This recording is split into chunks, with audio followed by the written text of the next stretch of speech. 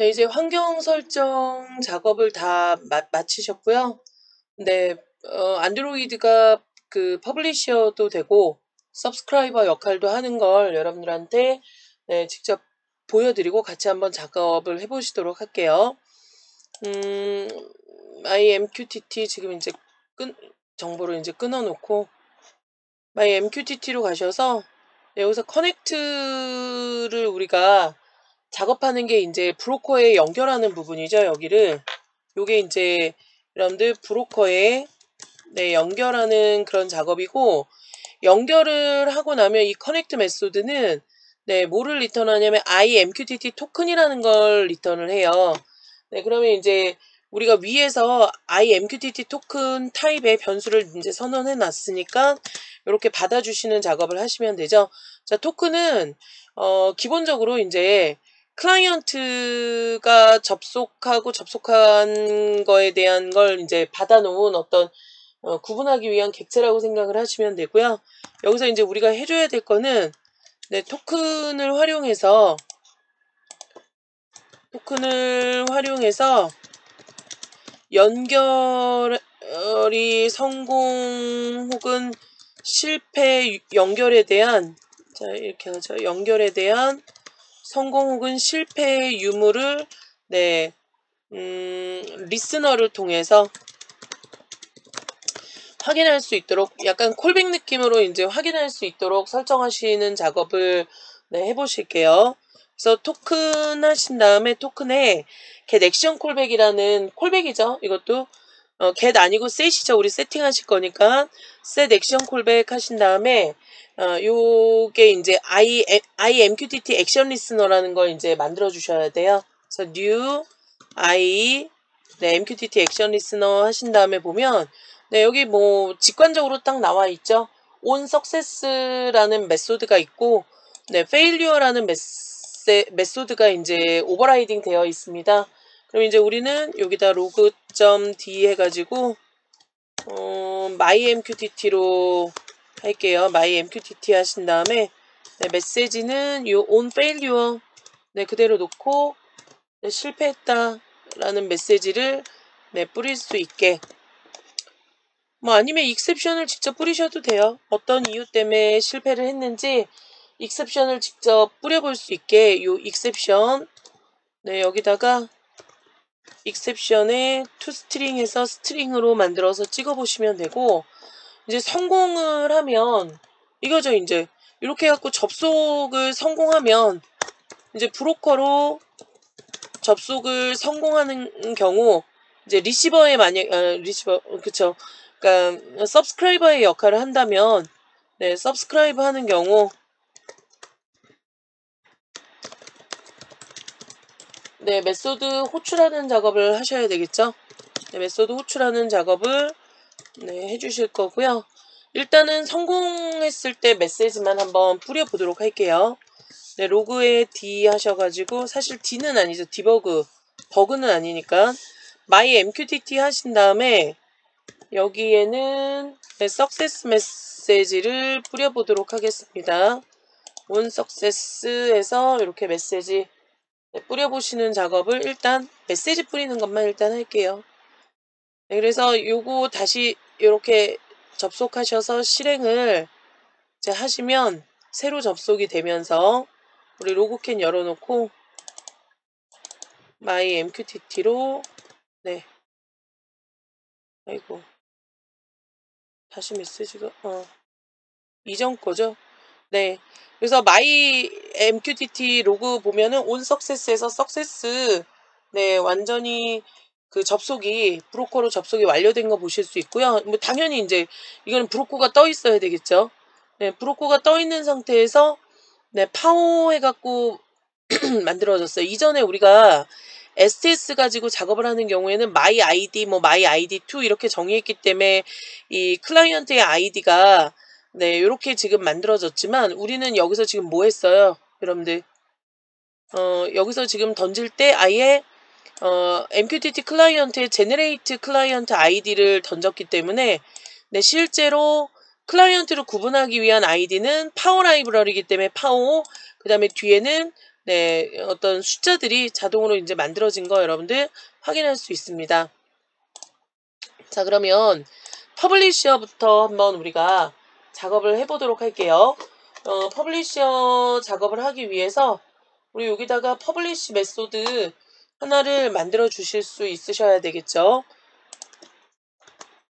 네, MQTT 안에서 우리가 통신하기 위한 publisher, publisher로서의 어떤 통신을 하기 위한 네, publish 메소드를 메소드 이건 이 메소드면 우리가 마음대로 만드는 거니까 요거는 알아서 하시면 되고요. 네, 토픽 있어야 되고 그 다음에 실제 제가 이제 메시지죠. 실제로 보낼 메시지. 네, 우리 이런 메시지를 payload라고 부르니까 payload 명시하고 그 다음에 이제 QoS 어, 메시지 품질을 설정하시는 거죠. 메시지 품질을 설정하실 수 있는 QoS까지 같이 받아서 처리하시면 되고 자, 만약에 우리가 음, 안드로이드 클라이언트 맞나요, 우리가? 안드로이드 클라이언트 어,가 connection 됐는지 어, 우리가 확인하는 메소드는 is connected예요. 요게 이제 false면 이 연결이 안 된 거잖아요. 어, false면 우리는 다시 안드로이드 클라이언트를 이용해서 다시 connect 하셔서 connection을 다시 맺는 거죠. 어, 자, 요거는 어, 스로우즈 익셉션에 대한 처리이기 때문에 네, 이거는 그냥 add exception 해가지고 그냥 던져버릴게요. 이렇게 던지시고 작업을 하실 거고 그 다음에 이제 성공했으면 네 성공했을 경우에는 접속이 성공한 상태이면 메시지를 만들어서 네, 브로커로 전송하셔야 되겠죠. 네, 이 MQTT를 어, publisher나 subscriber 역할은 우리가 자바에서 하셨던 거랑 똑같아요. 그래서 MQTT 메시지 만들어야죠. 메시지 MQTT 메시지 메시지를 하나 만들고 네, 차근차근 이제 받은 거 가지고 값들을 세팅해 주시는 작업만 하시면 돼요. 자, 메시지에 음, set payload 해가지고 payload는 바이트로 어, 필요로 하니까 네, payload에 getByte 해가지고 바이트 바이트 배열로 변환해서 네, 실제 전송할 데이터를 주시면 되는 거고 그 다음에 메시지에 네, set QoS 이거는 메시지 품질을 세팅하는 거죠. 우리는 그냥 전달받은 QoS를 네, 세팅해 주시면 되는 거고요. 안드로이드 클라이언트에 네, publish 메소드를 이용해서 값들을 전달해 주면 돼요. 자, 여기서 우리가 publish 메소드를 이용하실 때 네, 바이트 배열, 이제 토픽, payload, QoS 자, 전달해 주실 때 토픽, 바이트 배열로 어, 어뭐 어, payload를 직접 주셔도 되고 아니면 MQTT 메시지를 전달해 주셔도 되죠. 네, MQTT 메시지를 전달해 주셔도 되고 user context랑 그 다음에 IMQTT action listener callback 있습니다. 네, publish가 성공적으로 됐는지 여부를 체크할 수 있는 listener를 같이 만들 거예요. 그래서 음, 토픽을 전달을 해주시고 그 다음에 메시지 전달을 해주신 다음에 우리가 그 user context는 세팅한 게 없으니까 null 처리해 주시면 되고요. 요게 이제 뭐냐면 네, 우리 아까 위에서도 만들었던 것처럼 IMQTT 액션 리스너 콜백이에요. 성공적으로 됐는지 안 됐는지 성공의 여부. 그죠? 네. 그래서 요거는 이제 뭐냐면 토픽하고 그 다음에 메시지 객체와 메시지 객체니까 정상적으로 네 MQTT 메시지 객체와 그 다음에 publish가 성공했는지 유무를 체크할 수 있는 listener 네, 등록하시는 작업을 하시면서 publish 하시면 돼요.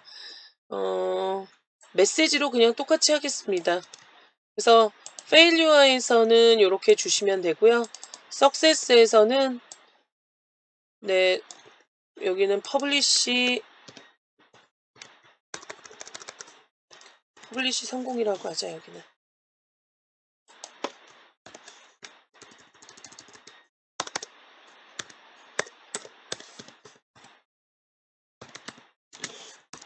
한글 주셔도 돼요. 네. 뭐 만약에 한글이 안 나오면 문자색 고치시면 되니까 네, 이렇게 publish 성공 이렇게 처리해 주시고요. 음, publish 메소드 이렇게 만들어 놓는 작업까지 하셨어요. 그럼 이게 이제 MQTT고 요거를 이제 activity에서는 어떻게 하시냐면 여기 연결되어 있는 activity LED 컨트롤이 있죠? LED 컨트롤. 네, LED 컨트롤이 네, LED 컨트롤이 코드를 보시면은 send 메시지라는 그 메소드가 있습니다. 네, 요게 이제 그 버튼을 눌렀을 때 호출되는 메소드를 이렇게 이제 표현을 해 놓은 거예요. 그럼 이제 우리도 send 메소드를 만들어야 되겠죠? send 메시지를. 그럼 이제 버튼을 눌렀을 때 호출되는 메소드는 네, public void send 메시지 맞나요? 다시 확인해 볼게요. send 메시지 카피해서 아예 가지고 가겠습니다. 네, send 메시지고 view를 매개변수로 받아야 되죠. 네, view를 반드시 매개변수로 받아야 되고 네, 여기 메시지를 이제 좀 다르게 할 거니까 각각 다르게 할 거니까 다르게 보낼 거니까 네, 메시지 변수를 이제 만들어 주시고 네, V에 ID 하셔가지고 이게 LED 버튼 켜기냐 끄기냐에 따라서 다르니까 켜기는 버튼 LED ON이에요. 버튼 LED ON. 그래서 V get ID가 네, 뭐랑 같으면 r.id. 버튼 LED ON이냐. 네. LED ON이면 우리가 메시지에다가 네, 실제로 이제 보내고 싶은 게 LED ON이에요. 그 다음에 그렇지 않은 경우 메시지에다가 LED off를 넣겠습니다. 메시지 off. 음, 이렇게 한 다음에 우리가 만들어 놓은 my MQTT에 네, publish 메소드 호출하면서 토픽은 IoT로 주고요. 그 다음에 메시지 객체 payload 메시지 지금 세팅한 거 보내면 되고 QoS는 012 네, 우리 0으로 그냥 세팅하도록 하겠습니다. 자, 요거는 네, 메소드 이 MQTT exception에 대한 처리니까 more action 하셔서 surround with try catch 네, 설정해 주시면 되는 거죠.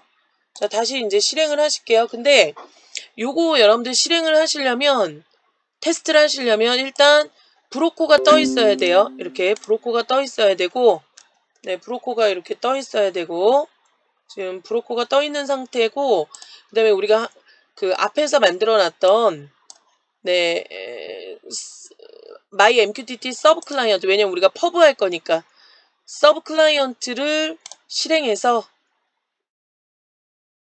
네 이렇게 subscribe 할 수 있게 처리를 해 놓으셔야 합니다. 그죠? 그럼 이제 my id 2 들어왔고요. 그 다음에 네 파워 해가지고 우리가 지금 방금 다시 접속한 거 네, 확인하실 수 있습니다. 그럼 이제 보내볼게요. 얘가 지금 이제 이거는 여러분들 이, 이게 지금 뭐냐면 이거 지금 우리가 STS에서 만든 자바 프로그래밍으로 만들어 놓은 서브스크라이버 그죠? 서브스크라이버 이게 나중에 추후에는 여러분들 뭘로 변경이 될 거냐면 이게 우리가 구축해 놓은 IoT 네, 플랫폼이 되겠죠. 플랫폼. 그래서 실제로 요청을 어디에서 받을 거냐면 Arduino나 Raspberry Pi나 그죠?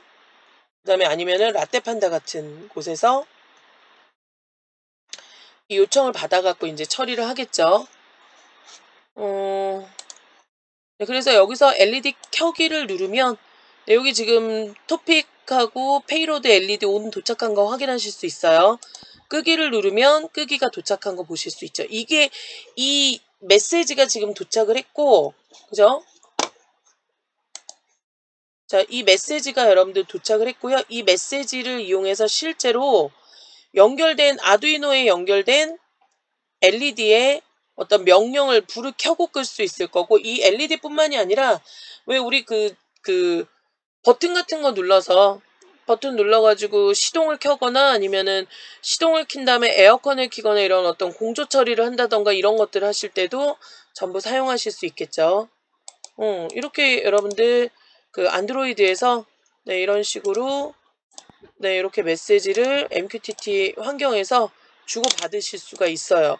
그러니까 훨씬 사실은 어, 스레드나 이런 것들을 우리가 생각하지 않아도 돼요. 물론 이제 처리하셔야 되는 부분이 있긴 한데 이런 부분들을 전혀 처리 고려하지 않고 네, 어, 이렇게 기본적으로 돌려주시는 작업만 하시면 네, 얼마든지 편하게 우리가 작업을 할 수 있죠. 이걸 또 그대로 안드로이드 쪽으로 네, 적용을 하시면 되는 거고요.